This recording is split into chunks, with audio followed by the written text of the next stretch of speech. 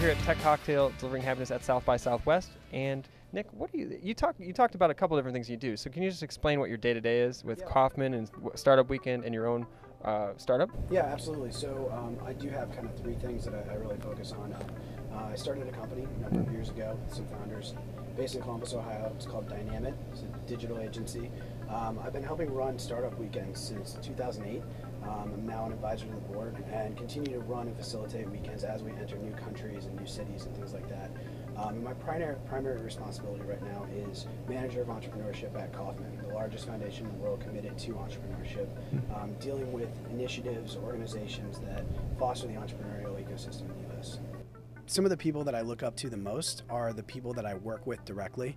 That's not to say that I'm not exposing myself to other ideas, to quote unquote thought leaders and domain leaders, um, but I've worked really hard to build teams, uh, to find founders, to find coworkers and colleagues that I can look to every day that are you know a million miles in front of me already. Um, they're pushing me, they're inspiring me, and I think that people are the biggest, most important part of a startup, of an organization, uh, and of a community. So the more I can find people that I can have contact with every day, outside of the folks that I'm reading, that I'm following on Twitter, um, those are the kind of people in the situations that can push me the most. People bring me into situations to say shoot holes into it, um, and so I think the people that I'm around the most actually counteract that in me. As cliche as it may sound, I think mobile computing is is really really important, and that's you know that's not just the iPad, it's not the iPhone. Um, I think it's interesting, especially in third world third world countries.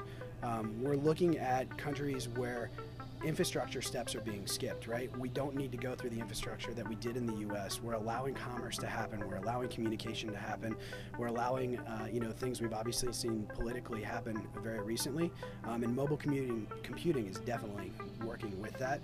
I think that participatory models, uh, whether it be technology oriented, whether it be real time and real world um, oriented, um, are what matter.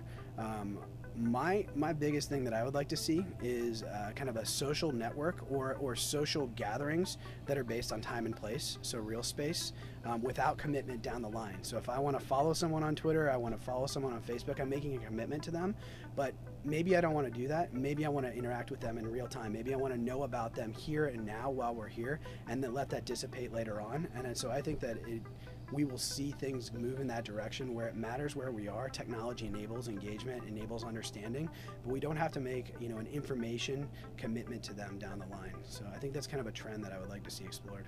Actually, in terms of failure, it's probably more of a personal one, not not necessarily a business one.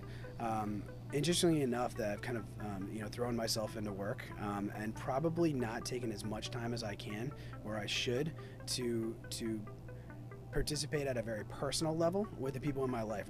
I think the mentality is really important, um, and uh, that's kind of like what I'm examining right now in entrepreneurship. Specifically, I kind of talked about the fact that there are a lot of things going on in higher education, there are a lot of things going on in private to educate entrepreneurs, to help entrepreneurs. Having the mentality of ownership and of sharing things is really important, I think. And, and when people want to start businesses and launch them here at South by or anywhere else, I think they have to understand that it's about changing the world. You know, I talked about inspiration at the beginning. I want to find people who want to change the world with everything they're doing. And I think having that approach is probably going to set people up for more success than it will failure.